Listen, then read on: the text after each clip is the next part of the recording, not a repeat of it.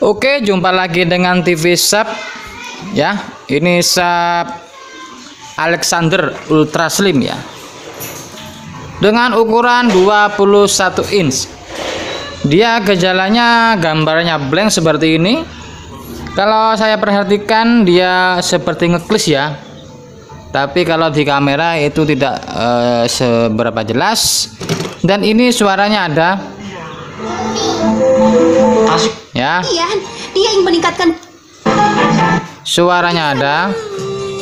Terus TV ini sudah saya bongkar. Oke. Kalau flip screen saya kecilkan dia bisa gelap.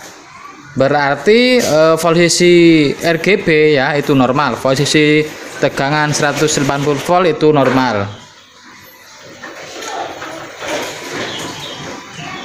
Ya dia ngeblank. Kalau saya screen saya mentokkan dia layarnya bisa bergaris tuh ya. Bisa bergaris berarti eh, untuk layarnya ini berarti masih normal. Dan untuk display kalau saya tekan menu kalau saya tekan menu dia displaynya tulisannya tidak keluar ya Ya biasanya kan eh, screen G2 itu biasa kan bermasalah atau CRT tapi CRT-nya itu enggak apa-apa ya. Displaynya enggak nampak.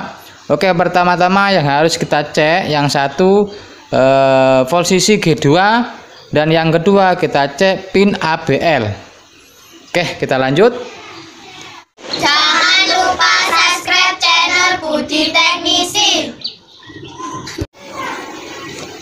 Oke, kita cek di pin RGB. Posisi probe meter kita taruh di CRT seperti biasa ya. Kita cek untuk tegangan di pin G2 ya. Kalau teman-teman e, tidak tahu pin G2 bisa di-download di Google ya untuk setiap pin-pin kaki 7, kaki 9 dan kaki 11 ini kaki 9. Nah, untuk cek tegangan G2 itu saya menggunakan ini ya volt DC yang 1000 kalau merek digital ini ya. Ini meter digital eh, andalan punya saya. Kalau yang ini sudah tiga tahun lebih tapi masih normal. Oke kita cek. Untuk pin G2 dia berada di sisi sini. Oke Oke kita cek. Pin G2 sudah normal ya. Dia terukur 431 ya. Umumnya kan 300 sekitar kurang lebih 300 berarti ini untuk G2 nya sudah normal ya. Kalau untuk tegangan RGB ya seperti KB ini KB KB nya normal KR nya normal dan KG nya normal. Berarti ini bermasalah di pin ABL oke kita buka untuk mesinnya. Matikan dulu.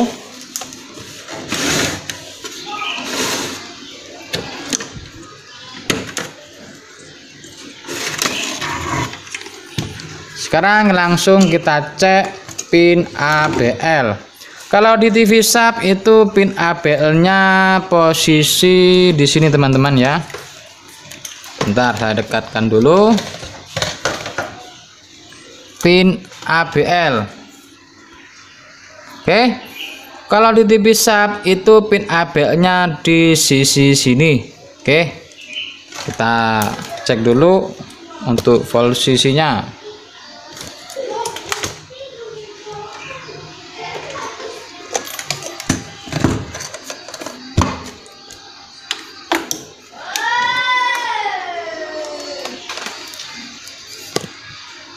Kita nyalakan TV-nya TV-nya sudah hidup. Tegangan B plus 125 volt.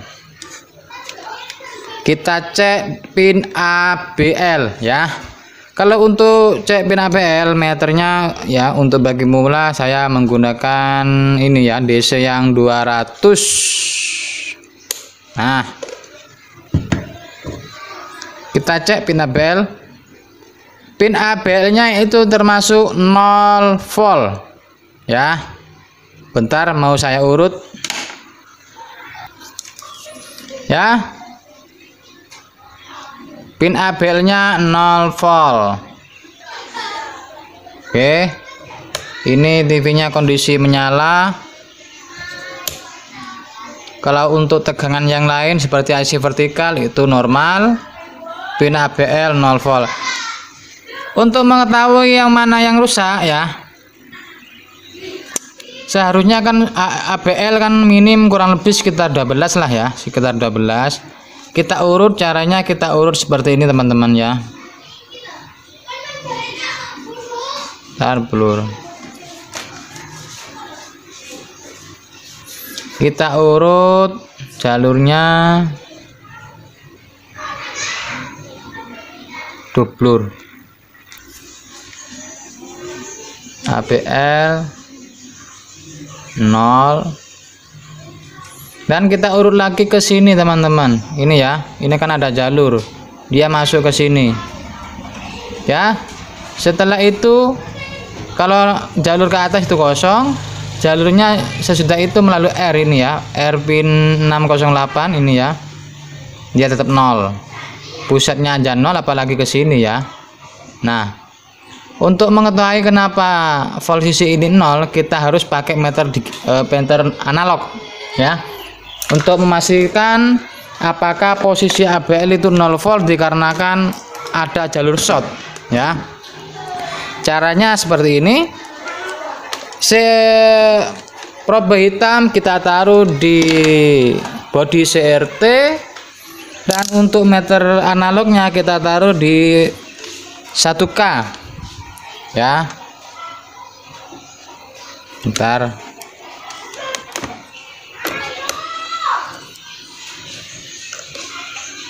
kalau menunjukkan angka 0 berarti nanti ada jalur yang short. Kalau jalur short berarti ada komponen yang rusak teman-teman ya. Oke matikan dulu TV nya kalau yang utama dia tidak nol. Kalau sesudah itu kita urut lagi ke sini juga bisa. Dia tidak nol.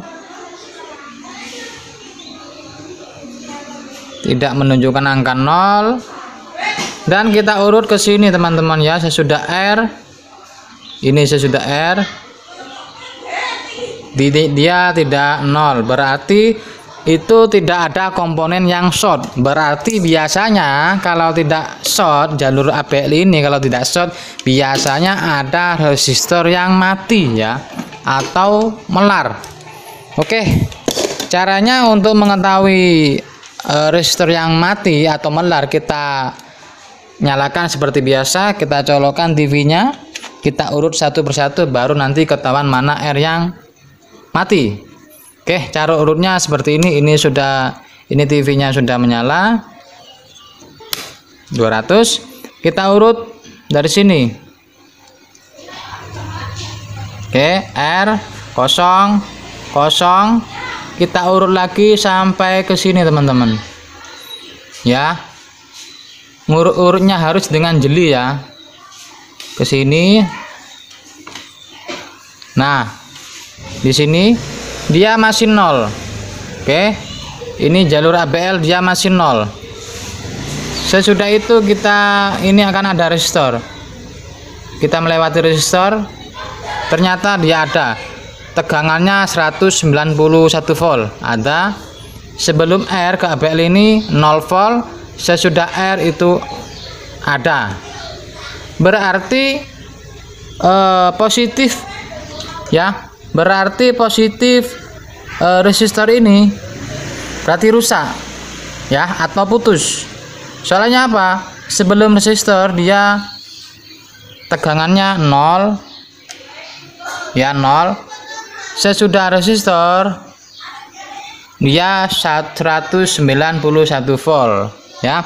Soalnya sesudah resistor dia tegangannya ambil dari 180 volt sini ya ini ini 180 volt. Nah ini 180 volt ini elko 250 jalurnya ke sini ada resistor terus ke sini ya. Oke kita ambil dulu untuk resistor yang mati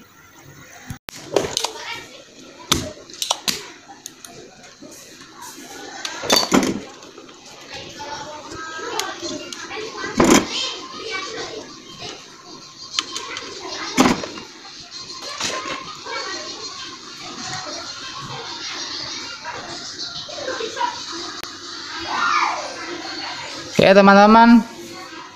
Ini resistornya ukuran bentar. Dia ukurannya 100 bentar. Ukurannya 82 kilo ya. Ini resistornya ukuran 82 kilo. Yang sebelah sini itu abu-abu abu-abu itu 8 ya. Yang merah itu dua. Yang oranye kalau di bawah, e, kalau di belakang itu oranye berarti 82 kilo. Kalau di belakang merah berarti 8K 2 kalau di belakang kuning berarti 820 kilo. Ini berhubung oranye berarti 82 kilo. Oke. Kita tes apakah benar-benar ini e, mati untuk resistor untuk tes resistor untuk TV untuk meter digital. Saya menggunakan yang ini teman-teman. Oke. Saya menggunakan yang ini 200k kita cek apakah mati. Oke ternyata resistornya mati. Oke kalau untuk 82k saya tidak punya mau saya kasih yang ukuran 100k ya teman-teman. 100k 82k dengan 100k itu selisih sedikit enggak masalah. Untuk resistor yang mau saya pasang ini ukurnya ukurannya 100k ya. Ini 100k coklat hitam kuning 100k oke. 100k yang normal mau saya tes. Ya 100k di bawah 97 97, berarti normal ya. Oke. Kalau yang barusan 82k yang ini mati teman-teman. Ya oke kita pasang dulu untuk resistor yang baru. Kita pasang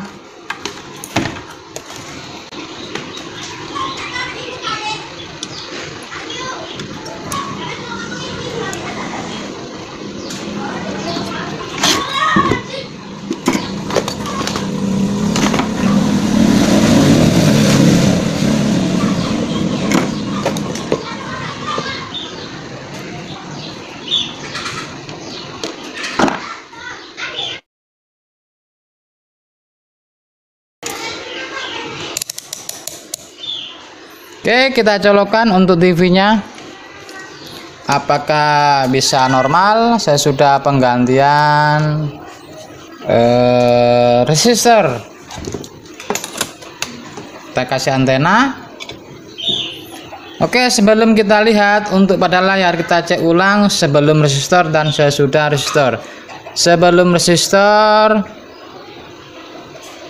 dia tegangannya ada sekitar 5,3 volt ya sudah ada ya. Oke sudah ada. Oke kita lihat penampakan pada layar.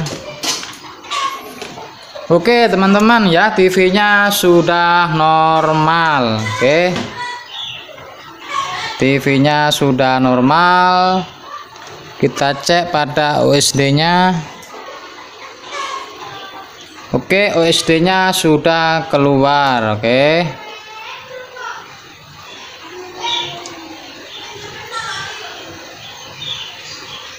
Oke, itu tadi eh, untuk pada resistor oke teman-teman yang baru pemula mau saya praktekkan ya.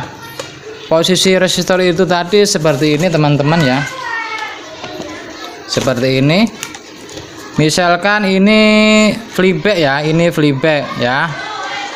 Ini flipback misalkan di sini itu pin ABL ya. Di sini ku oh ini pin ABL contoh ya ABL di sini itu jalur resistor satu terus resistor kedua terus resistor ketiga.